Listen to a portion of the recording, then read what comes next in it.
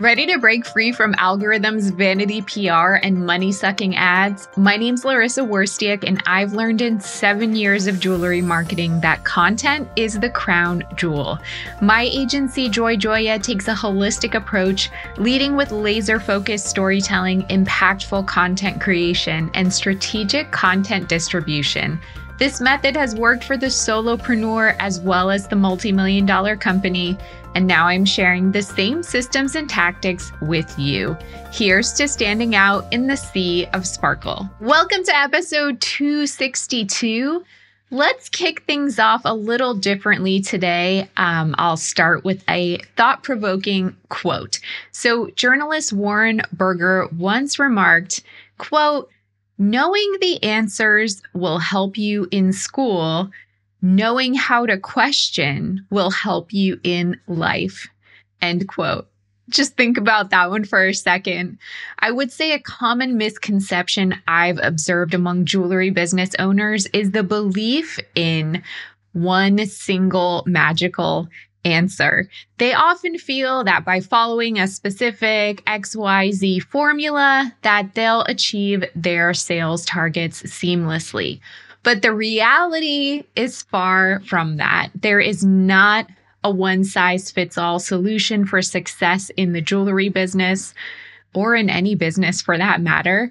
I would say through my interactions with diverse clients within this industry, I've realized that everyone's journey to success is unique to them.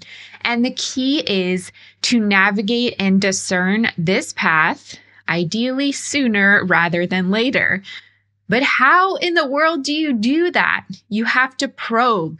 You have to ask questions and not wait for some magical answer to just fall into your lap. It's all about mastering the art of asking the right questions, particularly when you do have data in front of you to look at. So, in this episode, I want to shift our focus to the importance of curiosity and questioning especially about data. It's no secret that many solopreneurs in a creative field like jewelry are drawn to aesthetics, whether that's branding or their jewelry designs. But those same people, and maybe you can relate to this, you find yourself daunted by numbers, often presuming that you don't have the know how to navigate your data. And you may feel like you're just missing out on some formula or hidden key. So I want to change that mindset. And instead of getting bogged down with every little data detail, instead, embrace your inquisitiveness, which I know that you have as a creative person. So begin by asking questions. Let yourself explore freely and embark on your journey of data discovery with an open heart and mind. We'll be looking at this topic through the lens of Hilary Fink Jewelry, who we've been spotlighting as a jewelry brand case study. For those of you joining this podcast series for the first time this season, I'd suggest starting with episode 252. That way you can meet Hilary and follow the journey from the beginning. For even more of a primer on this topic, go back to 233, which is all about key performance indicators or KPIs. Before we dive into our conversation with Hilary today, let's explore how you can become more inquisitive about your data. I'll talk about what insights might emerge when you allow your curiosity to take charge, and then how you can take actionable steps based on your newfound knowledge without the stress of thinking you need to be a data expert or believing that you need to have every answer in order to move forward and find success. But before we get to the solid gold, I'd like to take a moment to remind you that this podcast has both audio and video, so you can either listen on your favorite podcast platform or watch on YouTube by searching Joy Joya. You can support the podcast for free by taking the time not only to subscribe, but also to leave a rating and review review on Apple Podcasts. Okay, my sparklers, let's get into today's episode. This one is all about getting curious.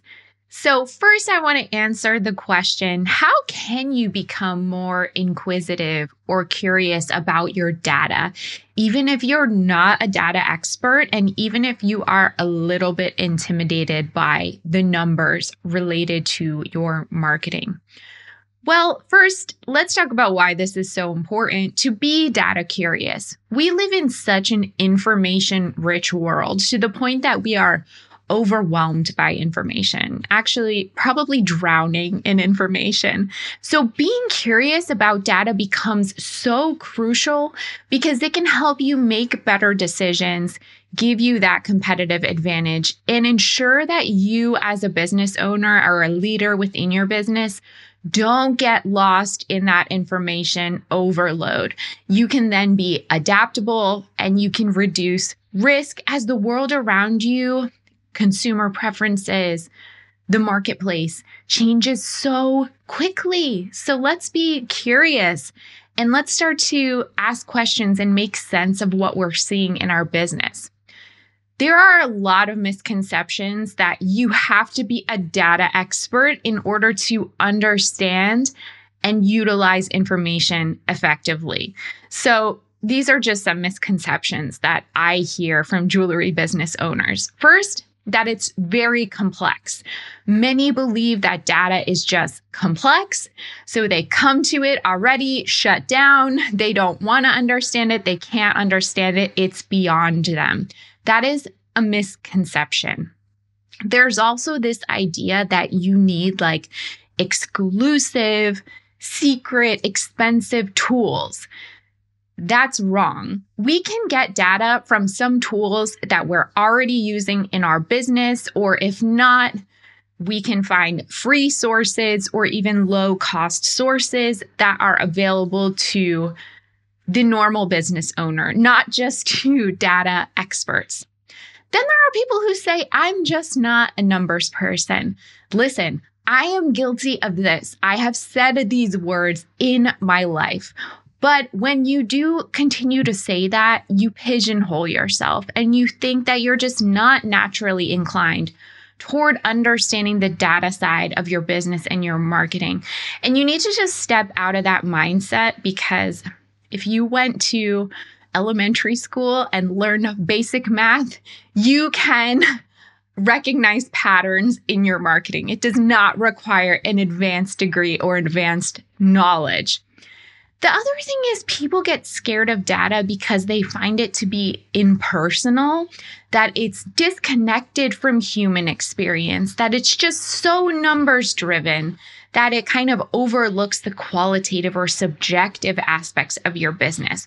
That doesn't have to be true. We can look at data in the context of what we know intuitively about our businesses and about our customers. And then some people think that data is just for corporations. So you probably believe as a small business owner or solopreneur that I don't have to pay attention to data because only big organizations operate with data and that is simply not true. So you if you can challenge these misconceptions, then you can really empower yourself and the people you work with to engage more with data and leverage that for business growth. So, how can you get more curious? I want you to adopt a learner's mindset to know that when it comes to data in marketing, it's okay to not know everything. Again, we are in data overload. The world is very complex. There's no one on this planet who knows all the things. So don't hold that standard up to yourself because you're not going to know all the things. And most importantly, I want you to embrace questions. There's so much value in asking why, how, what if, why is this happening? What does this mean? Get comfortable with asking questions. It doesn't mean that you're dumb or that you don't know anything. It actually means that you're smart and curious and inquisitive and that you're noticing things about your business. And that is really the beginning place from which you can improve and make positive change. Also, get comfortable with engaging with different data sources. Yes, of course, a thing like Google Analytics is very important. Your social media analytics, very important. But there are so many other sources. Your customer feedback is a data point. Let's look at that in the context of all of other things. Let's take a really holistic view of your data. So don't get caught up in your data just being like your Shopify dashboard because there's so much more beyond that that you can be looking at. And there are so many online courses and workshops, even free ones. Google has a ton of resources to understand their analytics even Shopify, your email marketing platform. You can even look at Meta. Invest a few hours into yourself and into your business to understand how data works, even at the most basic level. And if you truly have no time or no money to invest in such a thing, then work with a pro who can set up a data dashboard for you and at least point out which key performance indicators or KPIs are the most important for you to be looking at so that at least you have some kind of like narrow view of what you can pay attention to rather than trying to learn it yourself. So, what are the insights that might emerge when you really let your curiosity take charge of how you approach change in your business and improvement in your business? I would say data is just like a big mine of gems. There is there's so much hidden narratives and emerging trends waiting to be uncovered there just as if you were going to look for like diamonds in a mine. And when you analyze that data with curiosity, it reveals insights that can help you with decision making and even forecasting in the future. So, to tap into that curiosity, I want you to just pick a single data point. Let's just start there and see what is it telling you. So, in the interview with Hillary, that's coming in just a few minutes, one of the things that I looked at with her was her most viewed product categories over the past 12 months. For so when I say product categories, I mean like necklaces, bracelets, earrings, rings, etc. We want to understand and this is not sales, this is just views on her e commerce website over the past year. Which product ca- categories had the most views, the least views, and what is the order of that? Knowing that not only helps us understand how to present those product categories, not only on the website, but in email marketing campaigns, on social media, but it also brings up curiosity. Me, as an outside consultant helping Hillary, approaching Hillary and asking her if what I'm seeing in the data matches her own experience with interacting with customers, if it matches the sales reports. So, for example, if there was a big disconnect between what was most viewed and what was most sold, we would have to ask a lot of questions about that and see why is that happening. If there was a big disconnect between what was most viewed on the website versus what gets the most engagement on Instagram again we would have to get super curious about that and wonder well that's kind of interesting. Why is this happening? So just looking at the data I'm not doing any crazy math formulas here.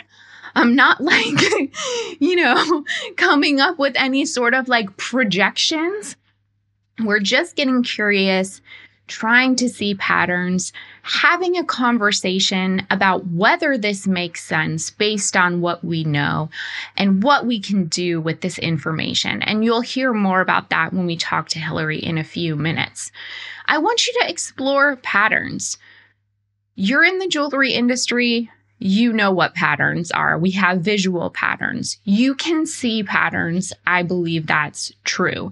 So look at the numbers and say, or ask yourself, are there recurring trends, anomalies? You don't have to be a data expert to see a pattern. You have to be a visual thinker, which I know you are. So pay attention to patterns in your business and then see are those patterns that we want to keep up? Or are those patterns that we want to break because they're not actually serving our business? And then you want to try your best to draw connections. Mm-hmm. So, how does one data point relate to another? And I'll just give you one example of what I mean. So, looking at your analytics, either through Google Analytics or even in your Shopify dashboard, you can see the average time that a visitor spends on your site. Okay, maybe it's like two minutes. Over the past 12 months, the average time is two minutes. And then look at the average order value or purchase amount. Do you see that those two have a correlation or are they not related? So maybe the longer or the higher your average time spent on site, you may see an increase in your average order value or you may not. It's really going to vary from one business to another. But those are the types of things where you can see relationships between one data point and another data point. So once you start getting curious and you feel comfortable about at least asking questions, being inquisitive, how can you then take actionable steps based on what you find? Again, without stressing over the fact like I'm not a data expert, I don't have any every answer. How can I move forward? It's totally possible. You want to try your best to interpret what you find. Again, you don't have to be a data expert, you don't have to be a marketing expert. Just ask to the best of your ability what does this mean for my business? And answer in a way that is just intuitive for you. If you're noticing something, but you're not able to draw a conclusion for it, just put a pin in, in that it might make sense later once you have more information. Or if it's really nagging you, then that's a thing that you bring in an expert to help you with. And also, with all the insights that you find, you want to prioritize it. So, is there something that feels like it needs immediate attention because it's very concerning or very confusing? Or is it just a curiosity that maybe you want to circle back to, but it doesn't seem very important it doesn't seem to be negatively impacting your business. So make a priorities list of all the insights that you find.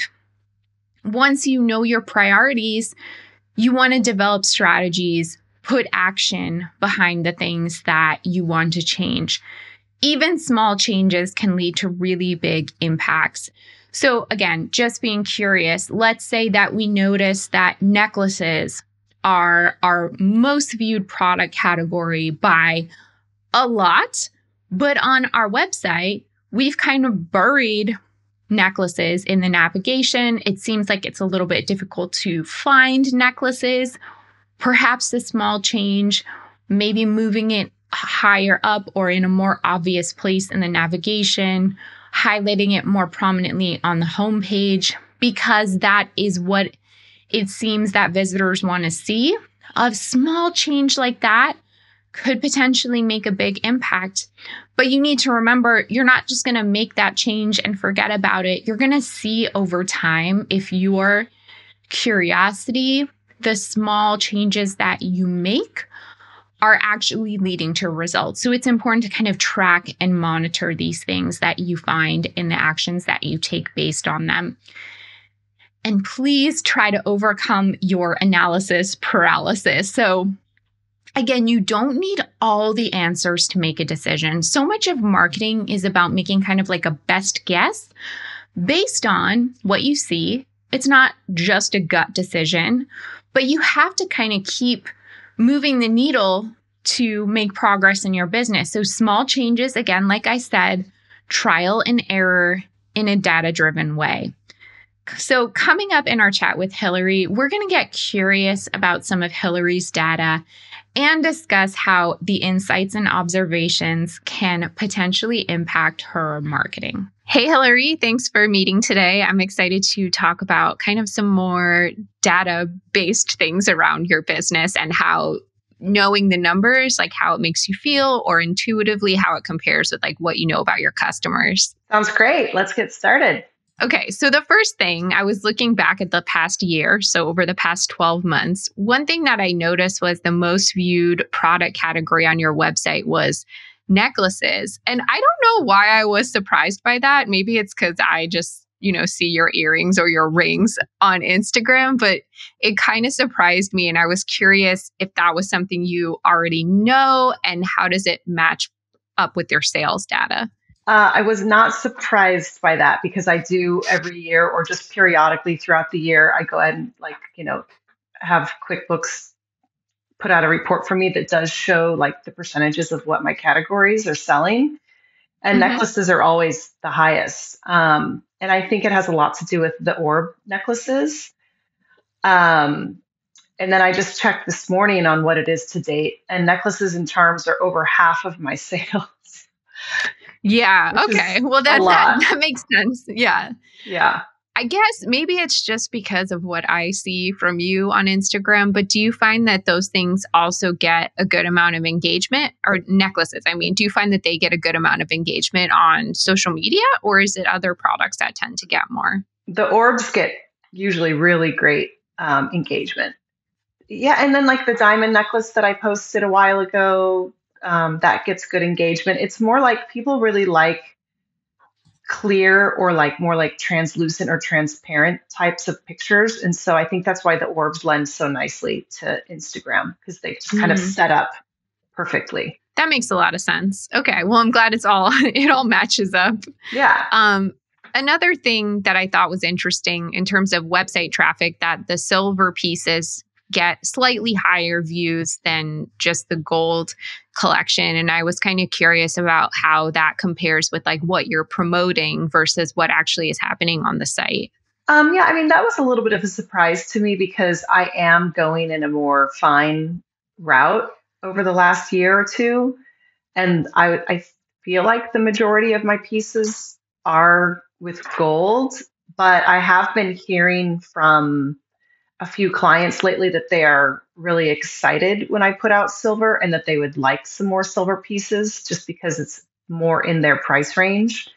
Mm-hmm. So I've definitely taken that into account and I'm I'm happy to make pieces in silver. So um, I just I think it's I think it's great feedback because I want to make sure that people can own a piece of my jewelry if they want to. Definitely. Yeah, that makes sense. And then from the, all the collection pages on your website, the one with the most average time, so like how much time people are spending looking at the page, it looked like Captured was the one people spend the most time on, which is one of your two collections. And I was curious what you think about that. That's definitely not surprising. Um, that's the Captured collection is my main. Um, I mean, that, that's I think that's how people know me. I think that's why people know my jewelry. Um, and that is the bulk of my sales come from that collection. So um, that makes a lot of sense. And I promote it more anyway. So, the thing that's usually surprising to clients is when they find out which product has the most views, because mm-hmm. it's not often the one that like sells quickly or sells the most if you have more than one of them. And the one that it happened to be was a captured moonstone orb charm had the mm-hmm. most views. And I'm curious what you thought about that. Yeah, that is that's surprising just because it's uh, it's just one of many. You know, I mean, they're beautiful, but then I was thinking, oh right, I had a few of them in stock a while ago, and so I created a banner for them on my website. You know, it was one of the like main pictures that comes up when you first go to my site, and it was promoting the moonstone orbs, and I had that up for two or three months. So I mean, I'm guessing that that's what drove those numbers up. It was a pretty mm-hmm. specific banner. I don't usually do those banners for such a specific item. Right. That makes sense. We were also talking to Hillary today in our meeting about how looking at traffic and what people are viewing can also help guide like a, um, product creation in the future. So maybe Moonstone is the thing you want to consider more of. Mm-hmm. People do love Moonstone, and I do too and I do have a good um, moonstone uh, lapidary artist in India who um, I get them from, and he can cut them for me most of the t- most of the time. He I don't know. He's funny about some cuts. It's like kind of one of those things where like if if he wants to, you know, which I totally if I totally understand that because I I just want to make things that I want to make. Um, but yeah, I could definitely get some more of those. One thing we were also talking to Hillary about was on her e commerce site in the main navigation menu, we were thinking through maybe we should have a shop by gemstone option because her work is so focused or at least the captured collection is so focused on like the beauty of the gems themselves. So looking thinking through that we wanted to look through well, what are the most popular gems that people are at least looking at i don't know if this matches like the purchase behavior but what we saw um, is was opal and then tourmaline and i was kind of curious if that was like surprising to you opal's definitely not and tourmaline, kind of sort of not that big of a surprise. Um, I do a decent amount of custom work with tourmaline. When I get some nice tourmalines in, I usually like put up pictures on Instagram and say, "Hey, does anybody want some custom work?" But then there are some that are are left, and I just make them for like you know my drops with my captured collection. But opals, no doubt, people are still in love with opals. I hope they stay in love with opals because I think they're fabulous. And tourmaline and, and, opal, and especially opal, are the stones that I plan on looking for um, when I go to the Tucson Gem Show this January. It must be nice to feel like you have some like guidance in in your shopping rather than just like I don't know what to pick, what looks pretty, you know. Yeah, there's guidance, but there Oh boy, you definitely do get sucked into what looks pretty too. Yeah, it is. I can. Oh my gosh, I can see that. it's so intense. yeah, I could totally see that. Yeah. Um, and there that should be a thing because then that leaves you open to having some more like exclusive or limited edition stuff beyond like what you know is going to be popular already. Mm-hmm. Yeah.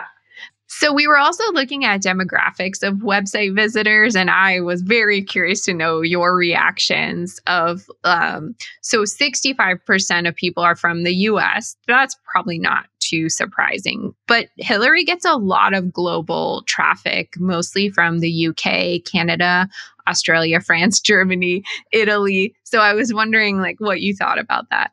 I guess I'm surprised that from the US it's it's not higher. I'm surprised that 35% is global. That seems like a lot to me, but maybe that's maybe it's not. I've never really looked at those numbers before. Um, I do have some very good collectors in Australia and in the UK. So those two countries aren't much of a surprise. And I've shipped to um, Italy, and then um, I've shipped to Singapore and Mexico, and then I've shipped to some Eastern European countries. But I the fact the fact that like Germany and France comes up is a little surprising because I've as far as I can remember, I I don't have any purchasing clients from those countries yet. But um, a lot of times when I put out a um, what do you can do, you put out a newsletter and then you can go on to Shopify and it shows you real time views.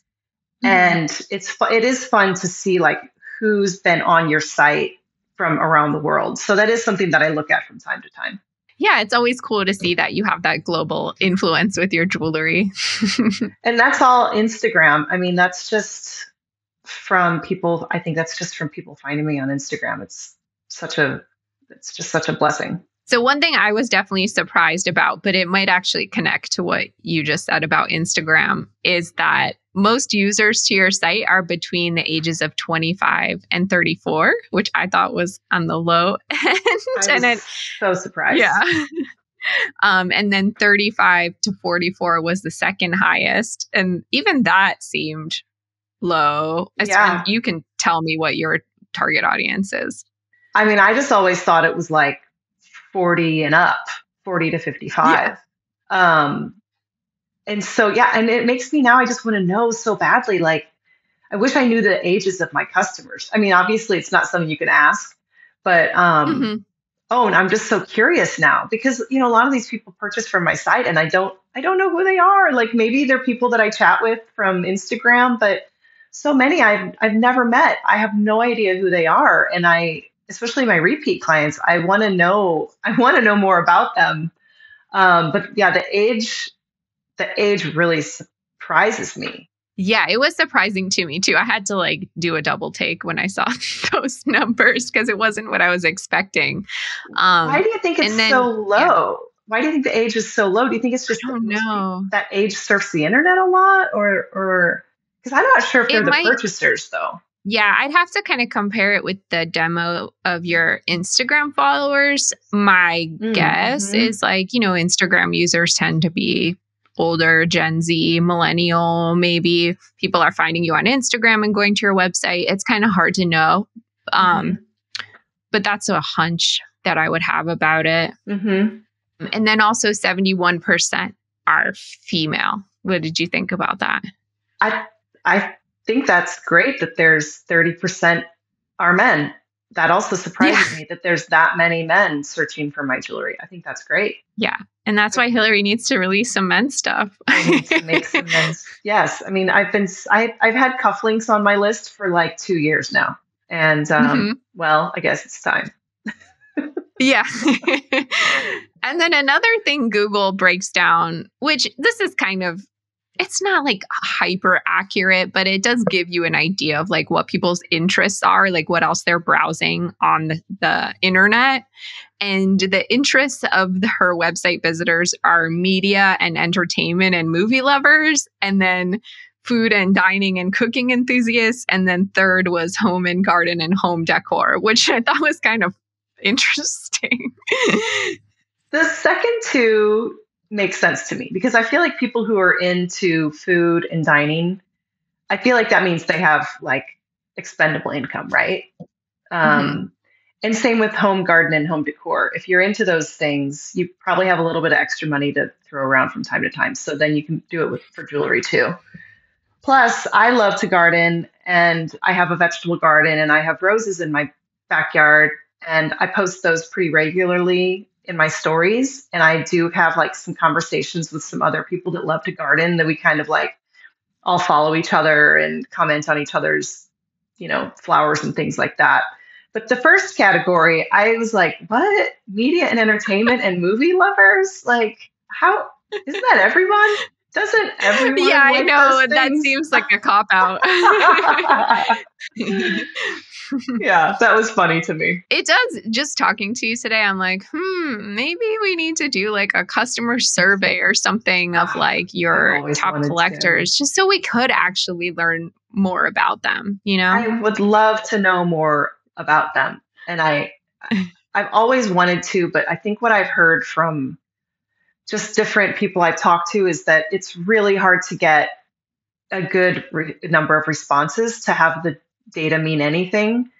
Mm-hmm. But sometimes it's nice. Well, maybe even just like five people fill it out, and then I just know more about those five clients. You know, I, I agree. It could be hard to get a good like average kind of sample, but even just to your point, knowing even a five of your clients better would mm-hmm. help you understand a little bit more in general because I'm sure they share some kind of characteristics with like other people who are attracted to your jewelry. Yeah, and the clients that I do know, I have to say it's really, I don't know how it is for other types of industries, but I think it's really, really fun to know your jewelry clients just because jewelry is so mm-hmm. personal and so meaningful.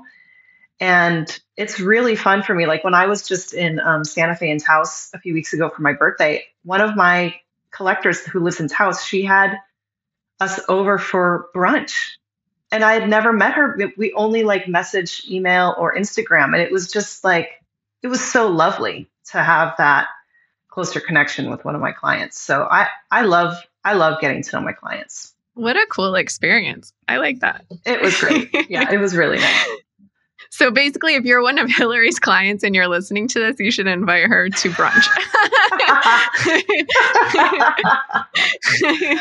oh, hey, you know, I'll travel wherever. It's all travel expenses. So yeah. Yeah, exactly. Write it off for the business.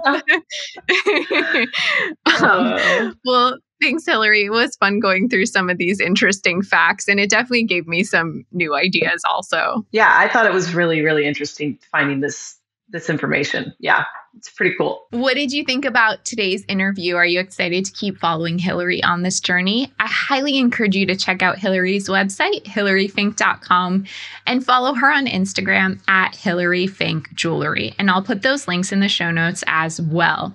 Let me know in a podcast review or YouTube comment what you think. Okay, let's get into the gold mine. This is a segment where I get personal and share insights on entrepreneurship, mindset, success, growth, all things business. This week's gold mine, I want to talk about recent experience I had. So if you don't follow me on Instagram or you haven't seen, I had the privilege to attend the Istanbul Jewelry Show in Turkey, where I moderated a panel called Secrets to Success in Social Media and Digitization in the Jewelry Industry. So this panel featured five distinguished influencers from diverse jewelry niches from all over the world, as well as the CEO of a jewelry company called Arpush. So I'll put the links to all the social media handles of the influencers in the show notes if you're interested in checking out their content, because it's a lot to list here, but you can look in the links if you're curious. So, throughout my career in this industry, I've had the chance to interact with many jewelry influencers, but I would say that sharing a stage at the Istanbul Jewelry Show with five of them was a unique experience. What really struck me about being able to like interview them in this setting was their passion, their enthusiasm, and their professionalism in representing the brands they work with and really ensuring that all the content they put out into the world resonates with their unique audience and their followers. So these people, they're not just merely dabbling in social media. They're dedicated pros who understand what their audiences want. And even though they're all in the jewelry industry and most if not all of them are representing fine jewelry, they all have a slightly different approach in how they engage. And their commitment is so evident in how meticulously they curate content and uphold the best practices of the platforms they use, like Instagram, for example. And during this panel, I really realized I mean, I kind of knew already, but it truly hit me that influencers are so vital and irreplaceable in today's digital age. I think you know the term influencer sometimes has negative con- connotations because influencers can potentially be inauthentic. There's various controversies about influencers, but I think when an influencer is really committed to the niche and the industry that they're in, they exemplify the authentic and positive impact the best of when it comes to influencer marketing. And in the jewelry domain, especially with these influencers who were on the panel, they're able to weave narratives and evoke desire in ways that even brands, even the most legacy, most popular, most coveted brands cannot do the audiences of these influencers, they are eagerly awaiting with bated breath the content. And if you look at the comments, and the engagement on these influencers' posts, it's such a testament to the passion that these people can infuse even on a digital platform like Instagram, where they're not interacting in person, but yet there's still such a personal element of how they're able to connect with and captivate their followers. And as a business owner or a leader within a jewelry business, I want you to know that there are so many insights that you can glean from influencers, looking at them, how they engage their audience, how they handle storytelling. And even if you personally don't like influencer marketing, and even if you don't choose to partner with influencers in your own marketing strategy, again, I think that's fine. This is not necessarily an endorsement for everyone to work with influencers, but I think whether or not you do, it's so important to look at them, to see their approach to platforms like Instagram, to see how they're able to create engagement, encourage engagement, and bring some of that to your own strategy in engaging with your followers and your customers, because there's so much to learn. So reflect on this today. I want you to think about who influences you and what captivates you about that person or organization or entity. It doesn't even have to be within the jewelry space, but there has to be someone or something that kind of prompts you to look at the world more differently. I don't even mean like this person makes you buy stuff, they just make you see things in a different light or make you pay attention, sit up and take notice. There has to be someone or something that does that for you. And then in your own marketing, is there an aspect or an energy or an approach that you can channel and bring to what you do so that you can kind of be the quote unquote influencer and storyteller and desire maker, desire creator of your own brand's narrative. I think there's something we can all learn by paying attention to these taste makers, let's say. So, what do you think? Let me know in an Instagram DM, podcast review, or YouTube comment. Did you have any questions about today's episode? You can always email me Laryssa, that's L A R Y S S A, at joyjoya.com. If you love this podcast, please share it with a friend who'd appreciate it. And don't forget to subscribe as well as leave a review on Apple Podcasts. If you're completely new to digital marketing, then you'll want to purchase and read a copy of my book, Jewelry Marketing Joy. Visit joyjoya.com slash book for more information.